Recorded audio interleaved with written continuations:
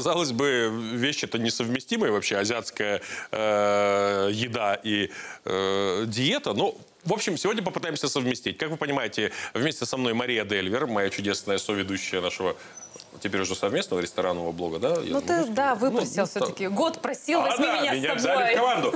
А еще мы в свою команду сегодня впервые в качестве эксперимента решили пригласить Роксану Бондаренко, диетолога. Роксана, здравствуйте.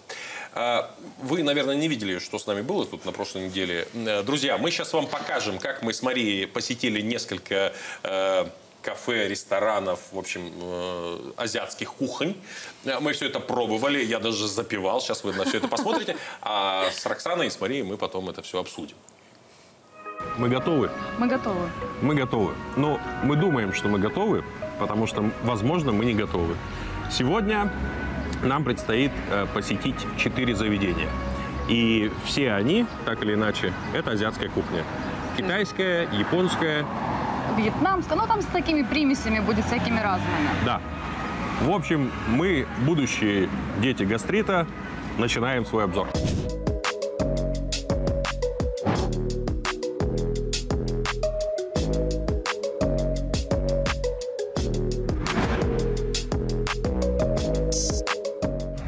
Короче, вот этого всего не хватает им на входе. Да. Вот их на входе ничего не отличает. Если бы на входе, ребята, ну, блин, я не специалист, но если вот сейчас руководство смотрит, если вы на входе вот эти свои фонарики повешаете, два, народ пойдет. А если вы еще поставите девушку в красном кимоно, которая будет вас зазывать, мне кажется, это вообще сработает.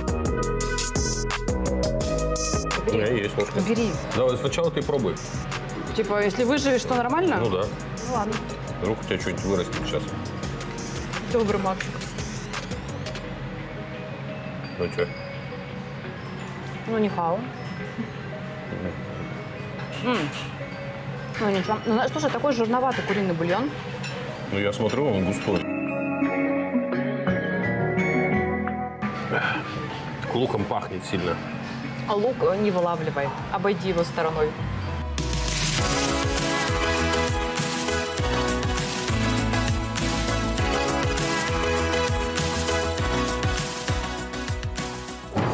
У тебя свинья... А, говядина, да? Жесткая. Жесткая?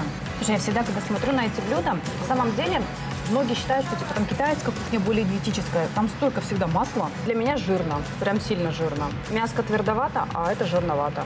Да. Жирновато, твердовато. Хотя, блин, вкусно. Нет, ну, неплохо. Слушай, мне даже бульон, наверное, Я больше. просто могу сказать, что э, чтобы перекусить, хватит одного блюда. Ну что, следующая точка наша гастрономическая на карте Красноярска. Здесь очень крутой дизайн.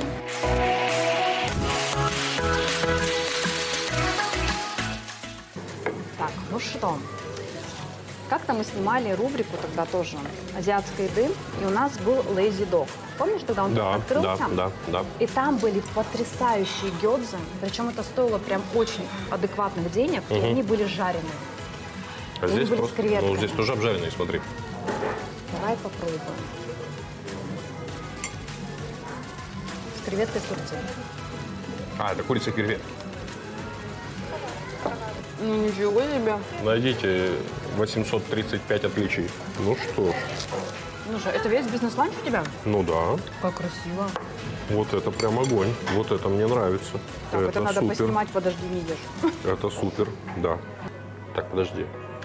Это у меня... У тебя бизнес первый. Это ролл с лососем и сливочным сыром.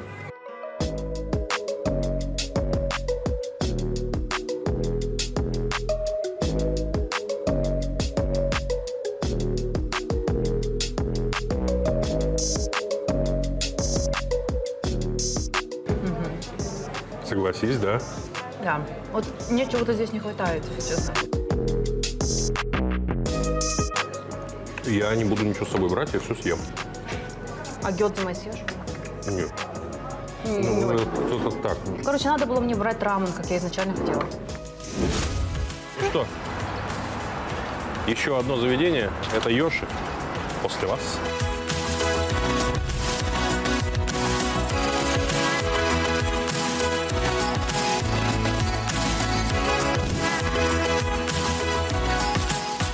Слушай, я буду том-ям. Я хотела попробовать том-ям, говорят, он самый вкусный в кимчи. Но так мы сегодня с тобой в него не попадаем. Поэтому отведаю том-ям дешево.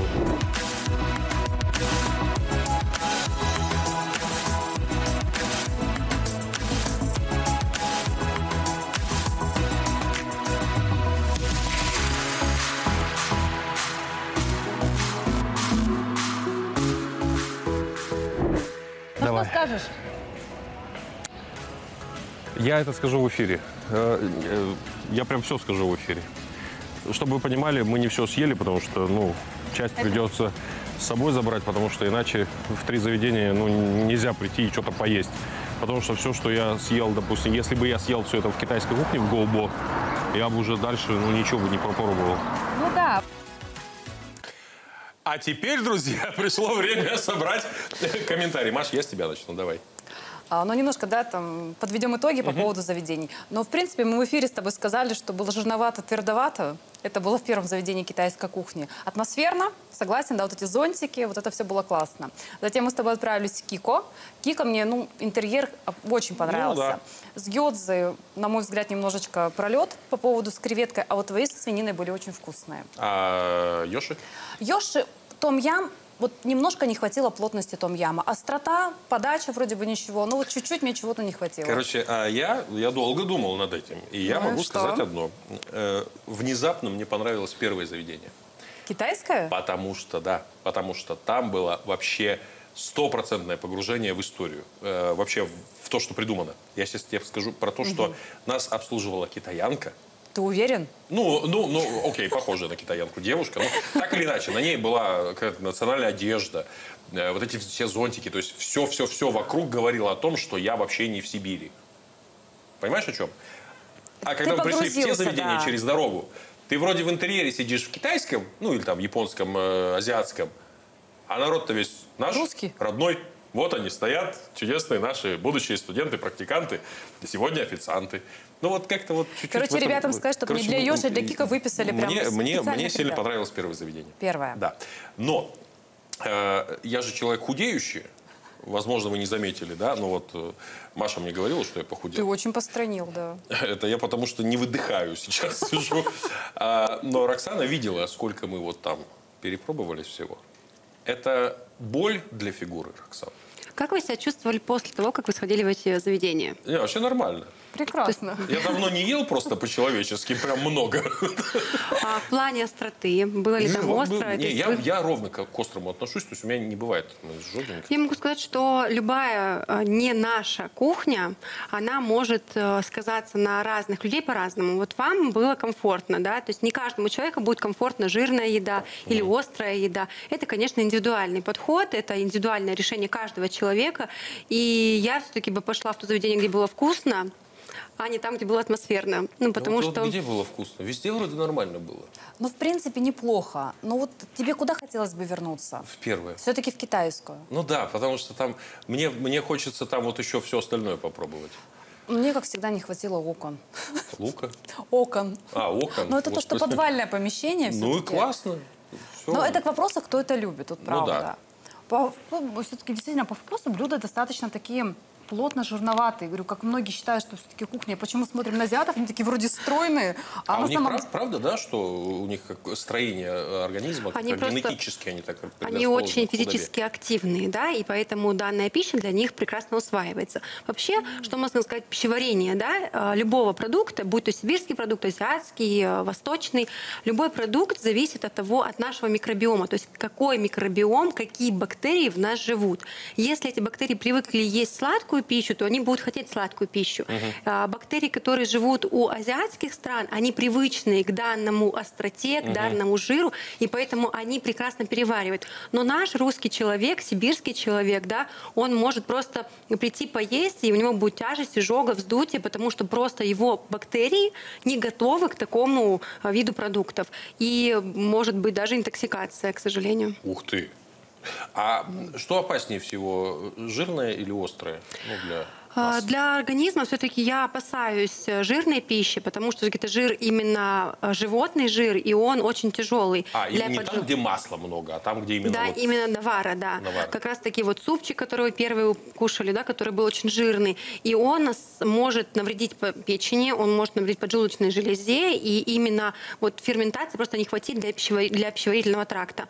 Что касается острой пищи, я острую пищу разрешаю, рекомендую. Там много специй, это капситоцин, гормон счастья, который вот как раз таки зимой нам хочется добавить, да, побольше специй, чтобы было вкусно. Поэтому а, вас- Вот почему красный доширак заходит всем. Я все понял. Чего такие счастливые-то? И я тоже. Я тоже знаю, где гормон радости получается. Все понятно. Собираем пакетики, не выбрасываем эти.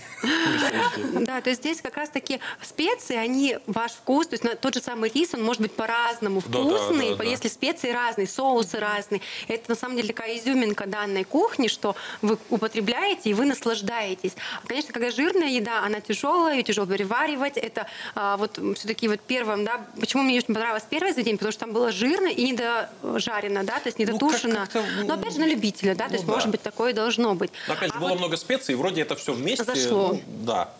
Вот, то есть здесь, конечно, такой момент, именно чтобы были аккуратны и прислушались к своему органу. Если вам не идет, лучше не перед, лучше вот не доесть, то есть немножко, Взять чтобы, да, чтобы вы потом это попозже съели. А вот, кстати, знаете, э, я же взял с собой, и буквально через там час-полтора внезапно эта говядина оказалась э, вполне себе приготовленной. Может, они туда что-то добавили? Может, она у тебя доготовилась, пока ты не Как это возможно? Это вообще возможно? Может, вы уже наелись, и потом уже были такие придирчивые к еде. Слушайте, но я еще, ну, мне кажется, делал фатальную ошибку. Я в каждом заведении еду запивал. Ну, если вы обратили внимание, там такие бокалы стояли. С, яблочным можно запивать? А у вас есть изжога, Максим? Вообще, в принципе, Нет. после еды? Я могу сказать, что любой э, здоровый человек может запивать еду. Потому что если у вас нет изжоги, нет проблем с ЖКТ, то пить воду можно и до еды, и во время А еды. что такое изжога?